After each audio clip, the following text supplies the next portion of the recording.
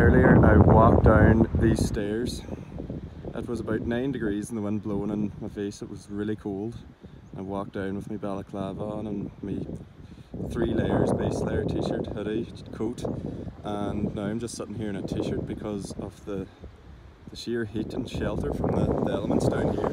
It's just surrounded by cliffs and yeah, that's, the, that's where we're fishing into today.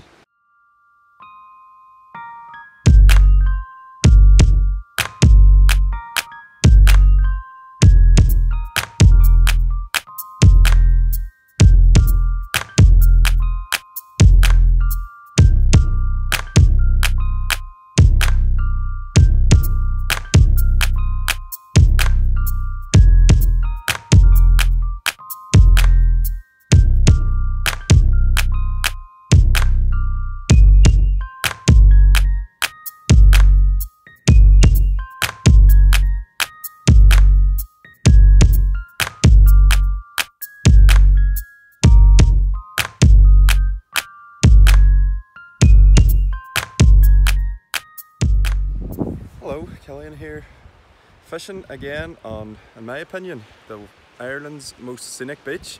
It's lovely conditions down here, the sun's shining, um, nice and sheltered from the wind which is above the cliffs there. I'll be fishing for some flatfish hopefully and yeah, hopefully have a few fish to... The rig I'm using is just very simple.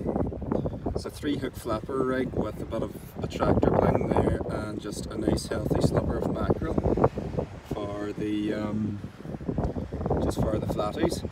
Been talking to a few people who fish down here said there might be a chance of a ray at distance casting. So yeah we'll try this. Start off with this and see how we get on. And then if the, the fishing's poor we'll switch it up into bigger baits for rays so yeah wish me all the best and thanks for tuning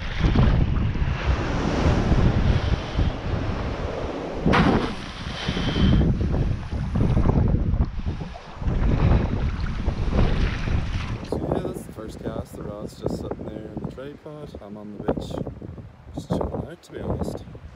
Hopefully a few fish to, to show you. And yeah, be nice for the, the camera. Okay guys, I'm just getting a bite there now, so a few knocks, which is great. Yeah, that's fish. First, hopefully I can land it now, be the first fish of the trip sun's just my eyes, I didn't sunglasses or a baseball cap because I was anticipating rain the whole time. Wait for it to kick again, hopefully. Nah. There's fish out there though.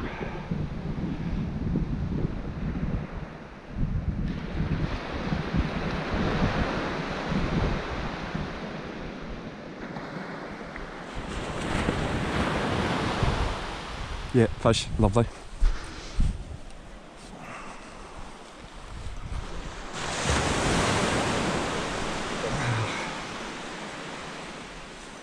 Don't know if it's there though.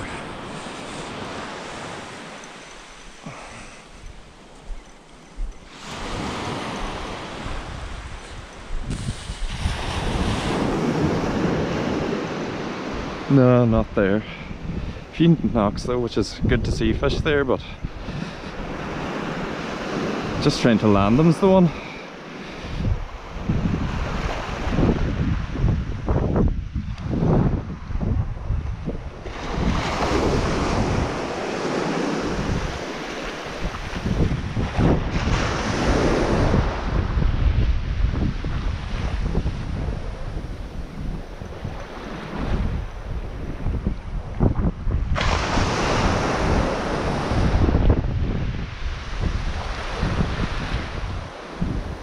Oh, I did. I got a fish. Flounder.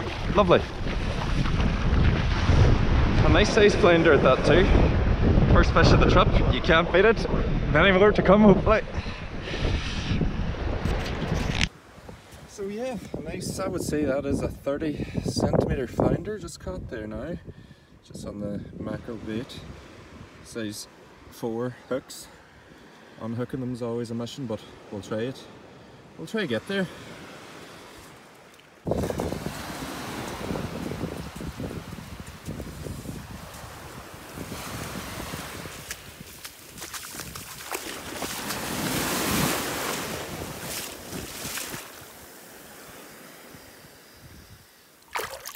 He's away like a shot.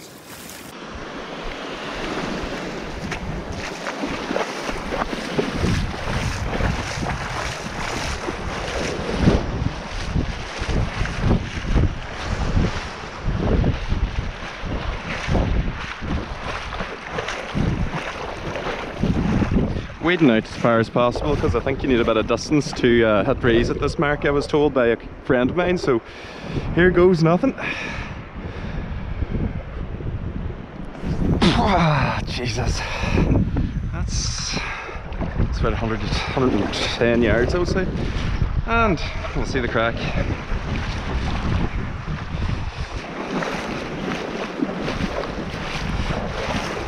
It's a big pull there Next time it had some going for it. Yeah, they're still hitting. Let's go. Hopefully a fish now to show you. Oh yes. Yeah, it's a nice fish too.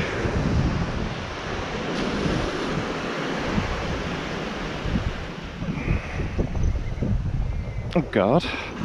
Let's see what it is. I'll see maybe double flounder, I hope. Double plaice or double turbot. Double something would be nice, but I'd say it's just single something regularly half decent, but can't beat fishing on a sunny day. The most scenic beach in Donegal.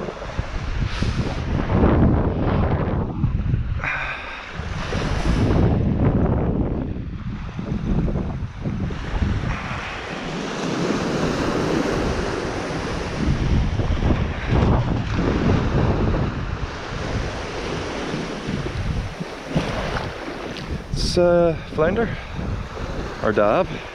Oh, it's double. Oh, it's a turbot. Turbot and a flounder class.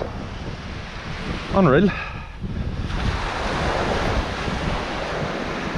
Double shot of flounder and turbot.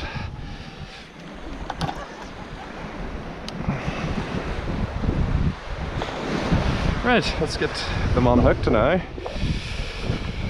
He's just caught through the lip, so that's handy. Just a little baby flounder. Get him back safe and sound.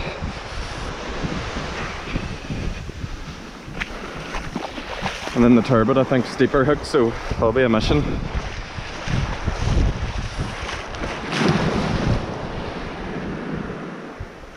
And he's just away like rocket. Right.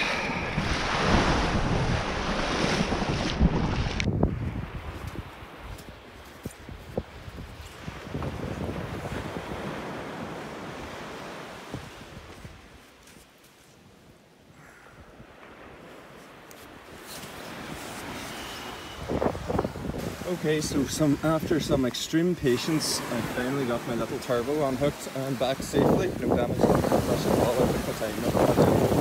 Just unhooked him as opposed to the um, flounder earlier. I just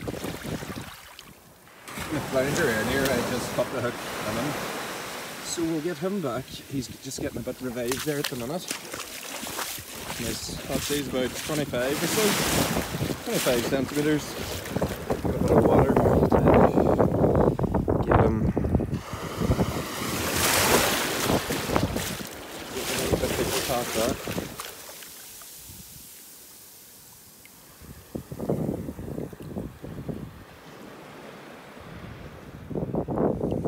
And that's him away.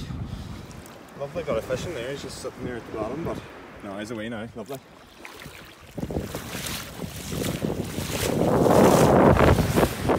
Okay guys, this is my final cast. I've switched up the tactics again.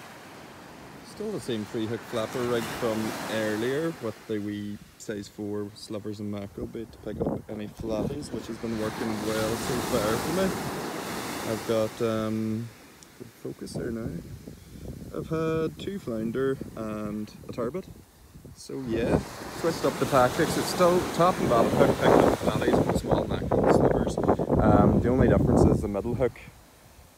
It's a half mackerel, call it, with a size 6.0 old Cox and Rawle meat hook to pick up anything big that might be out there, such as a bullhuss or a, I don't know, a ray, spotted ray or thorny, or there's even blondes around this type of these parts. So I'll give that a wing out, give it half an hour and I'll head on then, might do a bit of pollock fishing, I'll get the camping stove, cook the dinner for the evening, then it's conger time tonight, right? Thanks for tuning in folks, and hopefully have a fish for my last cast.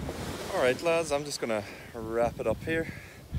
Been here about four hours, three fish, not so bad. Nice way, nice relaxing way to spend the day, so I don't really mind about the, the lack of fishing, obviously the scenery, you could not beat it.